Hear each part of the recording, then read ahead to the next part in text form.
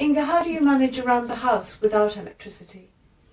We cook on gas, that's okay. And I can use the washing machine, but I have to leave the house when I turn it on. And we have to heat the house with an open fire. All electric appliances give off electromagnetic fields, and a growing number of Swedish employers are taking steps to protect their workforce from potential ill effects.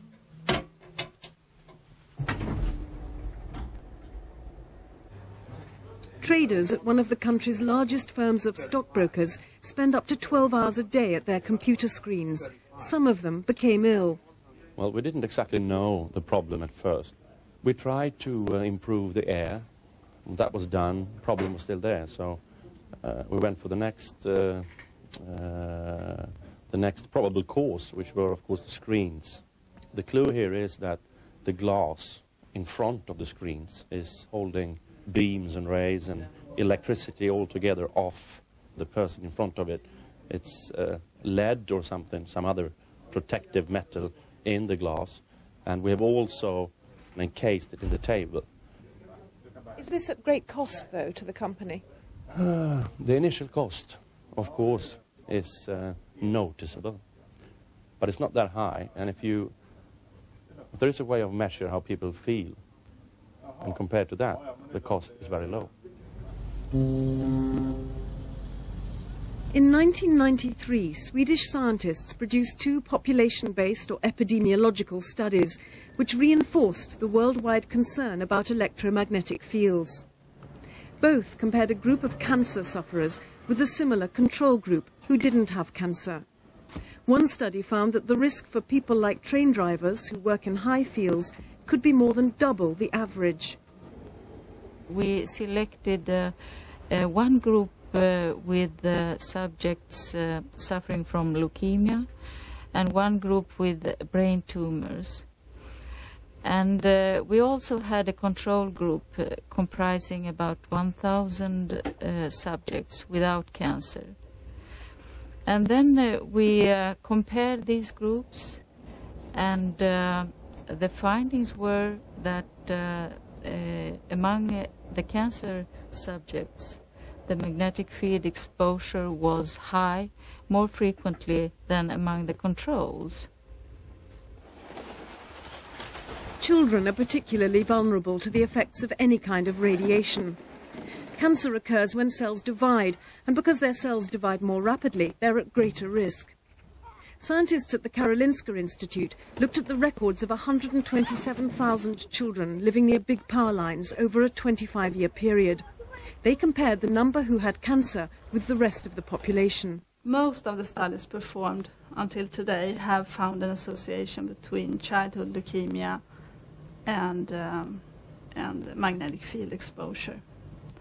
And uh, in our study we found about a twofold increase in the risk if you were if, if the children were living close, well, within 50 meters from, from a, a big power line. If you're not exposed to magnetic fields, the risk is about 1 per 20,000 children. If there is an association with magnetic fields, the risk would be 2 per 20,000 children. Even though the absolute risk is small, few people at Bergshamra near Stockholm want to take it. They've been alarmed by the research first, since this is uh, an area with a lot of children, people get uh, they got worried about their children. At least those who have their children at the kindergartens, uh, which are very close to the power lines. And uh, well, the the um, reaction had taken different forms. Some, some, people moved away. There have been quite a lot of people moving away from this area because of this. But then we also organized ourselves in an action group in order to to have the power line moved away rather than moving away ourselves. The campaign was a success and the electricity company has now agreed to bury these power lines. Even without proof that electromagnetic fields cause cancer, the Swedish government has seen fit to take action, recommending there should be no new building within 50 metres of power lines.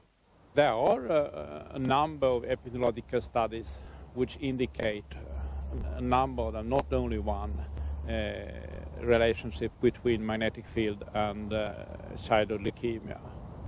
And before we uh, know definitely, then we must uh, be cautious. And uh, we recommend what they call prudent avoidance.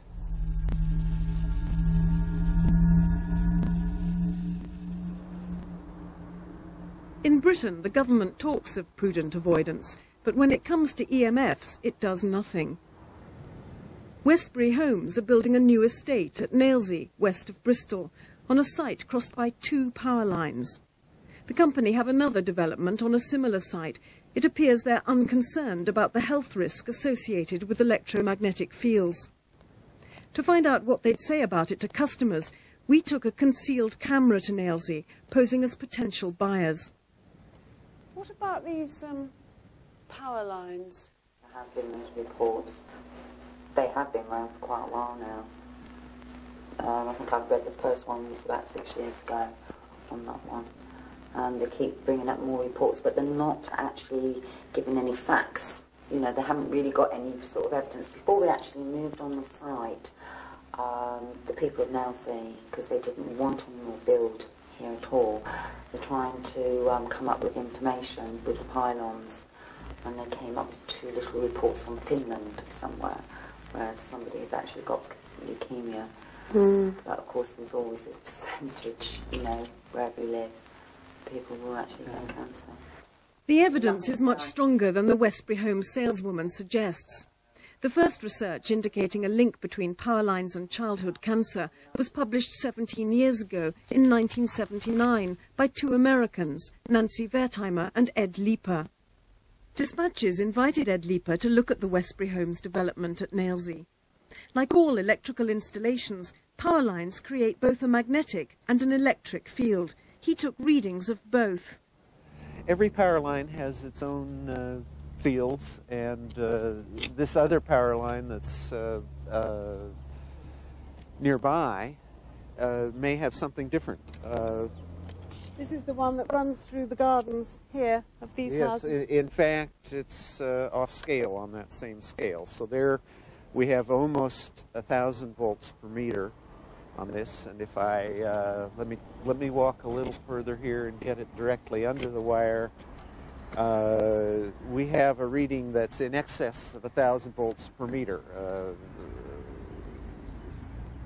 roughly 1100 volts per meter that's a, a fairly high uh, electric field for this kind of situation if Ed Leeper had taken electric field readings in the houses, he'd probably have found they were much lower. Walls can act as shields. But few families stay indoors all day long. Magnetic fields penetrate walls, and he found the magnetic field was 10 times higher than the level associated with a risk of cancer in the Swedish studies. This is high. That's so, very high, surely, for a line that runs so close to people's houses. Uh, uh, yes, and it could be higher than this in the future. What you have to deal with in this sort of situation is is that a line of this sort could give even considerably more than that uh, when it's fully utilized, when it's carrying all the power that it's capable of carrying. And generally, uh, a power company won't build a large line unless they have uh, uh some indications that future usage will go up. Southwest Electricity Board, SWEB, owns the power lines at Nailsea. We wanted to know whether they think it advisable for houses to be built so close. SWEB referred us to the Electricity Association, which represents all the electricity companies. When it comes to building houses near power lines, it's important to remember that the land does not actually belong to the companies that built the lines. So when houses are being built, it's a matter for the local authority the developer and the potential owners of the houses, subject, of course, to the planning regulations. So as far as the planning regulations are concerned, yes, it is satisfactory to build those houses in the positions that they are. West